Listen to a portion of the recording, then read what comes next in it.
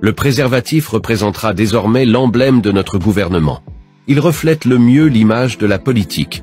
En effet, il tolère l'inflation, vide les bourses, ralentit la production, détruit la prochaine génération et protège les glands.